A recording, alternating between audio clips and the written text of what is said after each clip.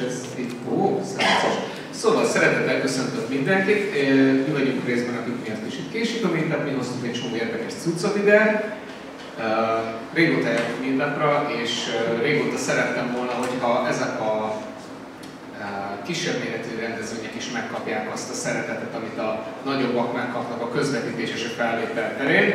Veres Szentkirály András vagyok, a Hackerspace Budapestnek az egyik tagja, és ha valakit érdekel a Space, akkor jövő szerdán, ugyanígy szerda hétkor, minden hónap második szerdán a nyílt este, bejöhettek megnézni, hogy hogy néz ki egy Hackerspace, mert ezt is megsimogathatjátok, hogy nem jutna rá idő.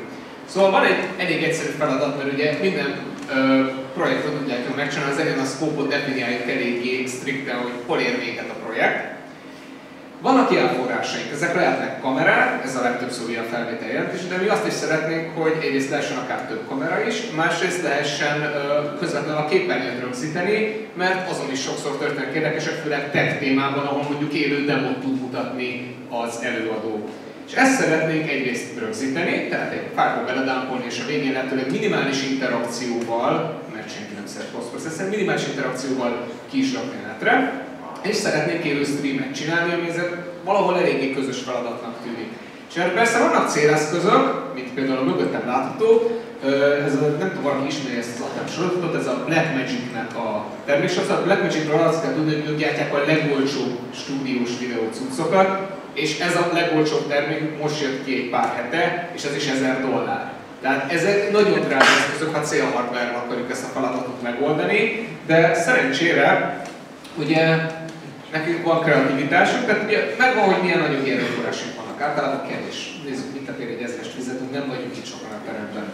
Vannak emberi erőforrásaink, nincs erőnk arra, hogy utána posztprocesszben rakosgassuk össze a dolgokat. Skálázni kell tudni, tehát hogyha mondjuk van négy párhuzamos track egy konferencián, akkor minden négybe be kell tudni ültetni valakit, aki nem feltétlenül videós szaki, nem feltétlenül ö, tanult ilyesmit, de szívesen segít, önkéntes, és egy olyan felületet kell tudni adni neki, amit tud használni, és az eredmény is egészen jó lesz. És a legfontosabb a hibatűrés, ugyanis uh, Előfordul az, hogy emberek átesnek egy kábelen, egy szoftver elkressel. Bármi megtörténhet, ezt a rendszernek kezelnie kell tudni.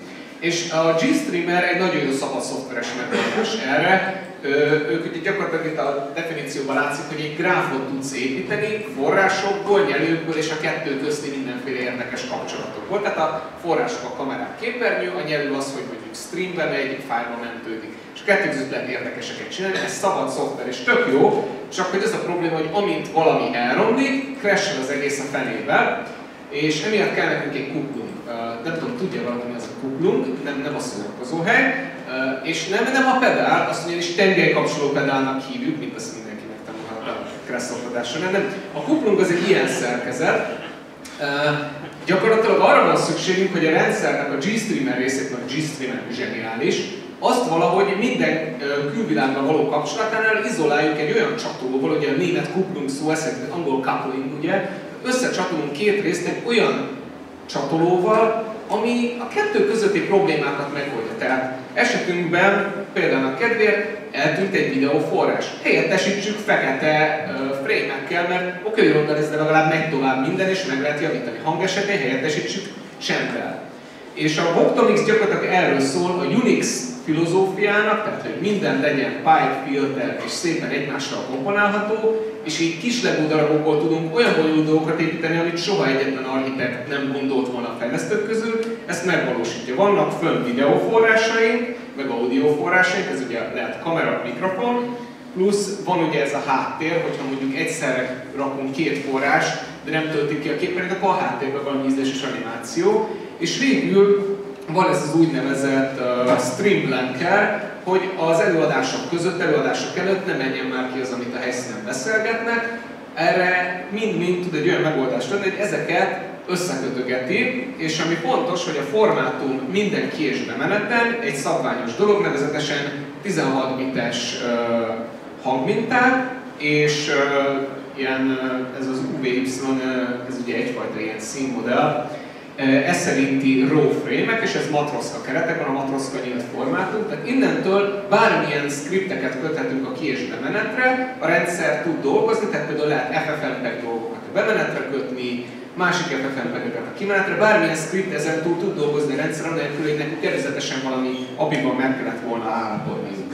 És hát ez a szépség a dolognak, ez egy szabad rendszer, nagyon-nagyon csúnya dolgok történnek, ezért teszteljük most is itt. Úgyhogy ha valaki szeretne majd hallani arról, hogy milyen csúnya dolgok vannak a, az összerakás közben, akkor majd kérdezhet erről. Úgyhogy köszönöm, hogy meghallgattatok.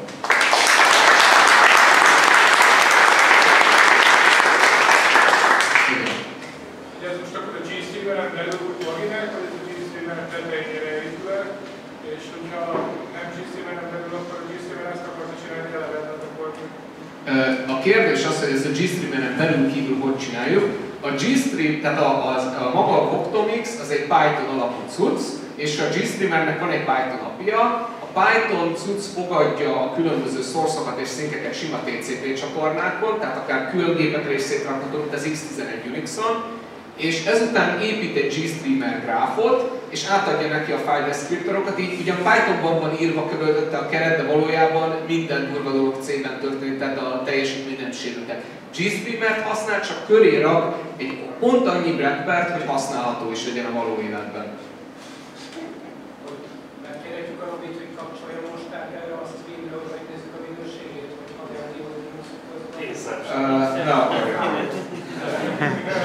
Utána lehet simogatni, és akkor lehet tesztelni. Borzasztó, mert a keverőből nem tudtunk jó minőségű hangot átjuttatni közvetlenül a gépből. Uh, figyelj, sima izé, uh, H264 kódulású videó megy fel a YouTube-ra, és uh, gyakorlatilag, hát uh, igen, volt lenne hiszes, hogy ezetem beállítanak a full screenben csak a gép menjen, de az... Én nyilván kísérleteztünk vele sokat, tehát nincs vele gond. Tehát például YouTube-ra is gond nélkül tudunk streamelni, mert igen, itt valószínűleg nem tudom mennyi idővel korábbi magunkat látjuk, hiszen ugye van egy buffer a YouTube felé, van egy buffer a YouTube-ról lefele, plusz a YouTube-nek is van valamennyi belső buffere. Előbb-utóbb lehet, hogy utóvégén De igazából ezt uh, tudja tolni HD-ben a olyan. Ezt tudja tolni Full HD-ban a de semmi akadály nincs, hogy tovább egy skálaszatot, tehát ez akár 4 k is működhet, szép jól múlik az egész.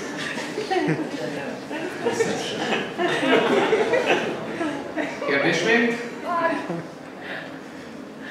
De egyébként fel van véleted. Nekem tényleg a G-Streamer volna érdekelnék tovább. Nyugodtan. A G-Streamer fejlesztők mit szóltak ehhez? G-Streamer fejlesztők mit szóltak ehhez, ez volt a kérdés.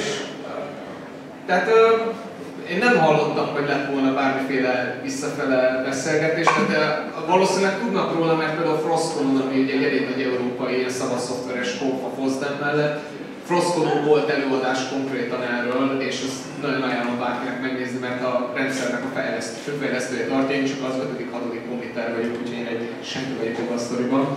Tehát na, nagyon tudom ajánlani, hogy nézzétek meg, és, és szerintem ők örülnek neki. Tehát, tehát a G-Streamer magában nem rossz, mert mégis mondhatok, hogy egy csomó esetben nem kell azzal számolni, hogy az az exception bekövetkezik, hogy eltűnnek a jelforrásai, de egy konferencia streamingnél felvétel egyszerűen nincs meg az a lehetőség, hogy hopp, jött egy exception, most akkor szállnak el a felvétel. Tehát az egész design is úgy lett kialakítva, hogy érződik rajta, hogy ezt konferencia szervezők írták több évtizednyi tapasztalat után, hogy mi az, ami hiányoltunk az eddigi megoldásokban, ez az igazi scratching your own niche kategóriás fejlesztés.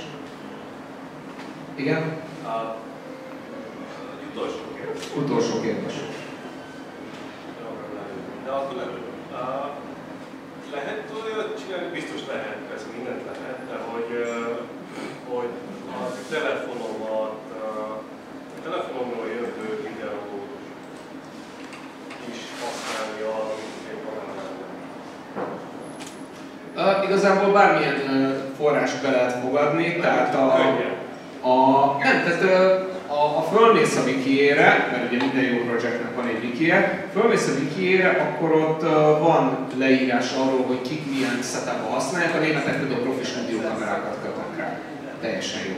A, viszont ugye a, a, a másik vége a spektrumnak azok olyanok, hogy Raspberry Pi és a Pi kamera, mert nem tudom mennyien tudjátok, a Raspberry Pi-on olyan GPU van, hogy abba kötött közvetlenül a kamerát, tehát bár az első Raspberry Pi-nak kocsik cpu volt, de mivel a GPU rögtön elvégzi a H264 kódolás, a CPU gyakorlatilag hozzá se ér a RAW videóhoz, tehát tudod Etherneten küldeni a streamernek, tehát ez működik, ezt nem is kell megcsinálni, ez már működőképes dolog. Mi is ezzel szeretnénk, hogy kiegészíteni lehessen egy ilyen teljes képet adó plusz kamera, amivel lehet váltogatni, hogy egy közeli az előadóról, vagy egy távoli az egészről, hogy néz ki a színpad. És Power Ethernettel gyakorlatilag egyetlen drótot kihúzol a Raspberry pi az áramot is kapja, jön vissza róla a kép, és ez teljesen működőképes. Mi a kettő közé próbálunk ezzel a DSLR-rel lőni, ami HDMI jön belőle. Szívesen bemutatom majd mindenkinek az egész állatkertet a szélre. Köszönöm szépen a figyelmet!